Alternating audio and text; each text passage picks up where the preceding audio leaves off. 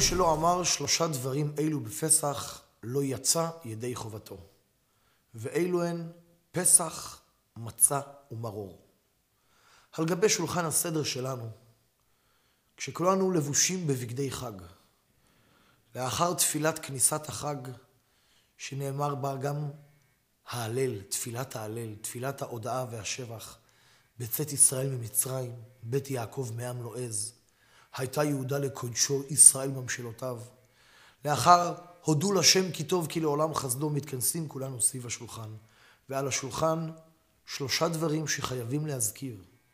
ומי שלא אמר פסח, מצה ומרור, לא יצא ידי חובתו.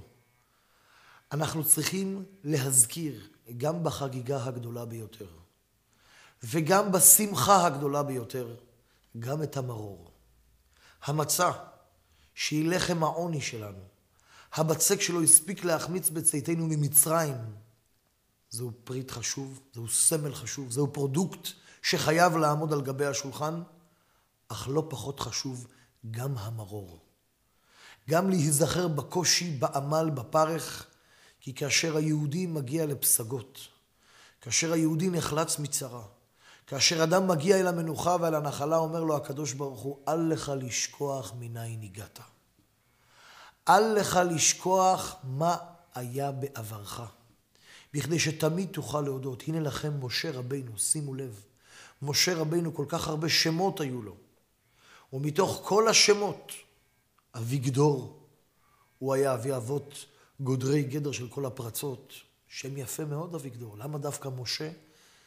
בחר הקדוש ברוך הוא לקרוא למשה מכל השמות דווקא במשה, כי את השם הזה נתנה לו בתיה בת פרעה, והשם הזה מסמל את נס ההצלה שלו.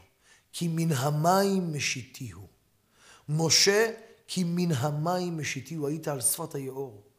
היית אמור לתפור, היית אמור ללכת לאבדון. גזירת פרעה הייתה כל הבן הילוד היאורה תשליכו. וניצלת.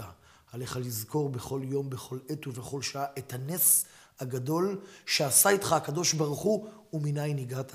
לכן חייבים גם בליל הסדר, חג החירות, חג השמחה, החג שכולנו מסמלים בו את הניצחון, את היציאה לחירות, לא לשכוח את המרור, לדעת מניין הגענו, לדעת מה היה בעברנו ולהכיר בניסיו ובחסדיו של הקדוש ברוך הוא, שגם כאשר אנחנו בגדולה, אנחנו זוכרים בדיוק מה היה איתנו פעם, ומודים לקדוש ברוך הוא מכל הלב. topic.